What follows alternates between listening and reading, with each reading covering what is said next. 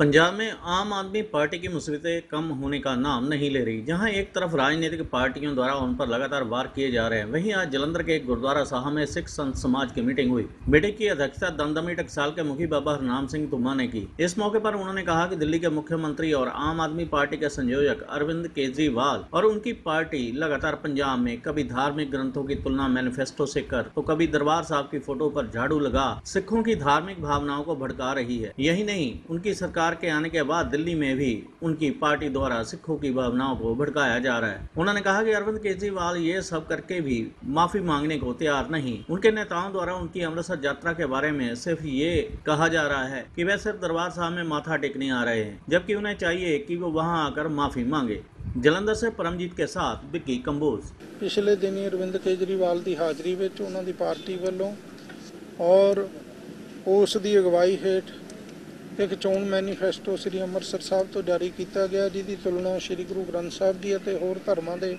ਗ੍ਰੰਥਾਂ ਦੇ ਨਾਲ ਵੀ ਕੀਤੀ ਗਈ।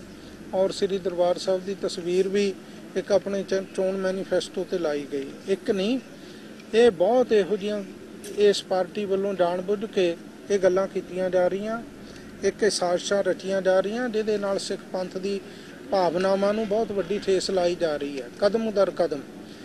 ਕਦੇ ਸ੍ਰੀ ਗੁਰੂ ਤੇਗ ਬਹਾਦਰ ਸਾਹਿਬ ਜੀ ਦੇ ਸ਼ਹੀਦੀ ਦਿਹਾੜੇ ਦੀ ਛੁੱਟੀ ਨੂੰ ਬੰਦ ਕਰ ਦੇਣਾ।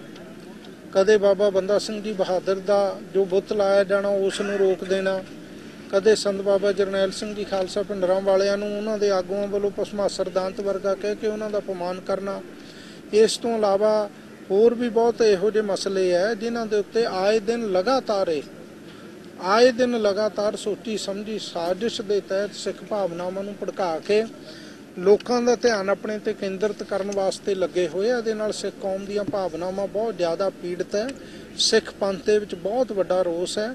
ਇਹਨਾਂ ਸਮੁੱਚੀਆਂ ਸਾਜ਼ਿਸ਼ਾਂ ਲਈ ਇਹ ਸਮੁੱਚੀਆਂ ਜੋ ਉਹਨਾਂ ਵੱਲੋਂ ਲਗਾਤਾਰ ਪੜਾਵਰ ਪੜਾ, ਬੜੀ ਸੋਚੀ ਸਮਝੀ ਸਾਜ਼ਿਸ਼ ਦੇ ਤਹਿਤ ਉਹਨਾਂ ਵੱਲੋਂ ਇਹ ਗਲਤੀਆਂ ਕੀਤੀਆਂ ਜਾ ਰਹੀਆਂ।